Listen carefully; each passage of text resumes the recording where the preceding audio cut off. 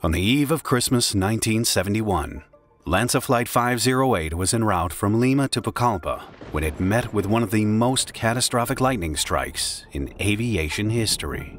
The disaster claimed 91 lives instantly, leaving a single, seemingly hopeless survivor amidst the vast, unforgiving Amazon rainforest. This is the shocking true story of Juliane Koepcke. Born on October 10, 1954, in Lima, Peru, Juliane Koepcke was the child of two immigrant German natural scientists, Hans Wilhelm Koepcke, a biologist, and Maria Koepcke, an ornithologist. Her life was anything but ordinary, as her childhood was steeped in the richness of the Amazon, where her parents conducted their research. To pursue this research even further, Juliane's home at the age of 14 became a remote research station deep within the Peruvian lowland rainforest. She was homeschooled for years in the rainforest until she was sent by educational authorities to return to finish high school in Lima. Despite her unique upbringing, she successfully finished high school in Lima after doing years of homeschool, graduating on December 23, 1971. She planned on leaving a few weeks prior, but decided not to due to her graduation ceremony. By the time mother and daughter were ready to fly back to Panguana, the only tickets available were for LANSA flight, departing at noon on the following day, December 24th.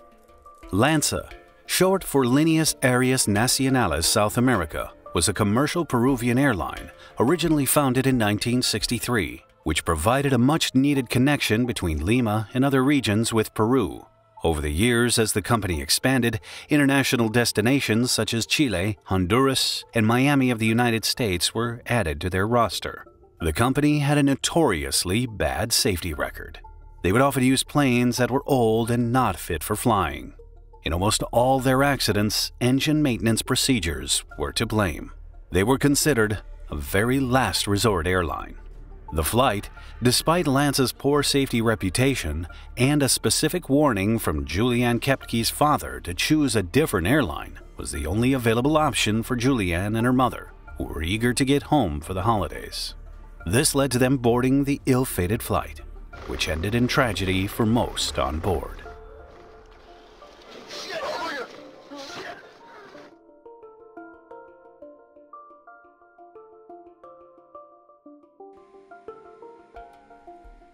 LANSA Flight 508 was packed, without a single seat left open.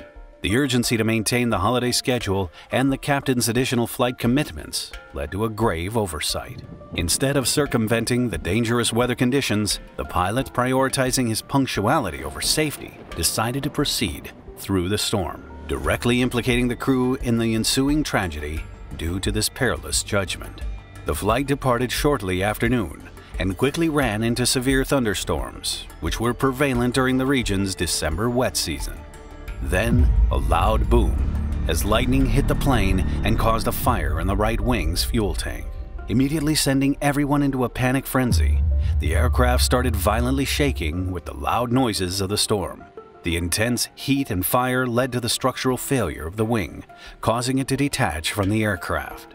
This catastrophic event destabilized the plane, leading to its breakup in midair. The plane began to dive sharply into the tropical forest jungle. Her chair fell out of the plane two miles above ground level and started spinning, which slowed her descent.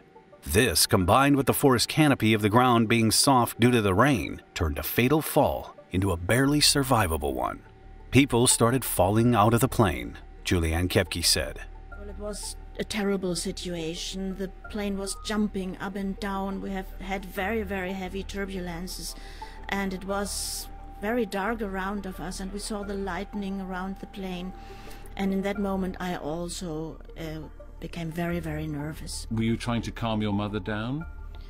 Well, we uh, hold our hands, and uh, we were not able to speak anymore in that moment. And were the rest of the passengers panicking as well? Yes, they began to cry and to weep and to scream. And because of the turbulences, the parcels were flying around the cabin because the compartments were not closed as they are now. The so the luggage compartments opened and everything fell out? Everything fell out. All the gifts and flowers and Christmas cakes and such things. And was there a moment when you remember an impact or a lightning strike hitting the plane? Yes, after going through this storm for about uh, 10 minutes or a little bit longer, I saw a very, very bright light on the right outer engine of the aircraft. And in that moment, my mother said very calmly, That's the end. Now it's all over. And these were the last words I ever heard from her. And uh, from that moment on, all happened very, very quickly. The plane made a jump and a nosedive and fell down vertically. And I remember up to now this horrible atmosphere in the cabin. The people screaming desperately, and it was pitch black around us.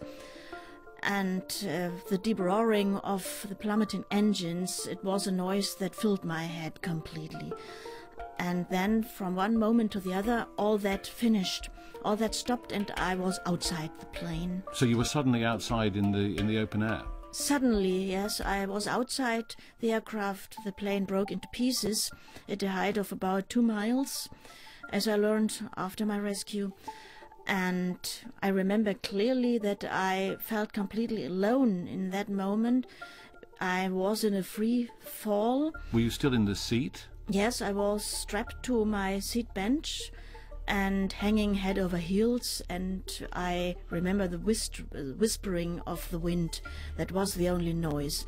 I was aware, and I saw the canopy of the jungle spinning around beneath me, and then I get unconscious and uh, I did, lost my consciousness. Did you have time to be frightened, or was it just impossible to to feel any emotions as this was all happening so quickly? Yes, it happened too quickly. It was impossible to feel panic or fear in that moment. I only realized what was happening, and then I passed out, and I didn't remember anything from the impact.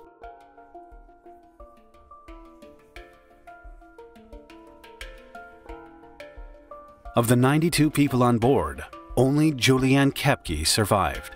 She woke up unconscious, huddled under her airplane seat. Her neck, ankle, and shoulder hurt. She had a broken collarbone, a ruptured ligament in her knee, and several cuts and bruises. She called for her mother over and over again, feeling scared and helpless, only to hear the sounds of the rainforest. She heard planes overhead searching for the wreck, but due to the tree canopy, those remains were not found. Juliana's teachings from her parents and survival instincts kicked in. As she got up, she traversed through the forest trying to find any open area. She found a candy bar from the plane crash, which was her only source of food. Over the next few days, she stumbled around the rainforest scared for her life, searching for a creek. She then heard a bird cry because of her life in the Amazon, she realized this bird nested by the river. In search of water, she followed the bird to eventually find a creek. Creeks tend to lead to rivers, which is normally a sign of civilization, so Juliane followed the river constantly on guard for snakes and other wildlife. She slept on sandbanks, drank river water, and slowly ate a bag of sweets from the wreckage. She was alone, scared, starving, in danger, and severely injured. She still had faith that other survivors lived and looked forward to seeing her mother. At this point, she didn't know the fates of any survivors, but came across more plane wreckage. She found three human bodies attached to the seats beside the river, being preyed on by vultures. This killed her morale, as she realized her mother was probably dead alongside them. Her watch stopped working around 9 a.m. on December 28th. She continued to push through the forest, trying to keep track of time, but could only keep a rough track. She followed the river for days until January 3rd when she found a hut with a boat next to it. Now, 10 days after the initial crash, she waited in the hut and treated the wound on her arm, which was infested with maggots. As a child, her father treated a similar wound on their pet dog using kerosene. She then siphons gasoline from the boat and uses it to treat her arm. On day 11, her staying at the hut paid off due to awakening to the sound of men. She thought she was hearing voices, but then the three lumberjacks came out of the forest and froze in shock when they saw her. They questioned what this random beat up girl was doing inside of their hut, but she stated she was a survivor of the LANSA flight. Hearing about this on the news, they helped patch up her wounds and gave her food. After resting for the night on day 12, they took a seven hour canoe downstream to a place where airlifting to a hospital was possible. She then learned her collarbone was broken, her ACL was torn, and she had a partially fractured shin.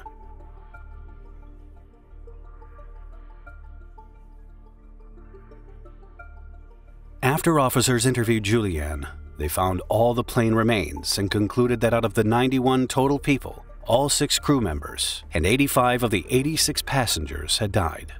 Juliane was seen as the miracle girl receiving letters about how powerful her story was. News articles started making up stories about Juliane, including rumors that she had abandoned other survivors. She and her family moved to Germany, where she had a full recovery. Grieving her mother's death and haunted by survivors, she would have nightmares. If you have watched this far into this video, this means you're probably enjoying it, so please consider leaving a like, subscribe, and comment something you found crazy about this story. She went on to college and studied zoology like her parents and ended up getting her PhD.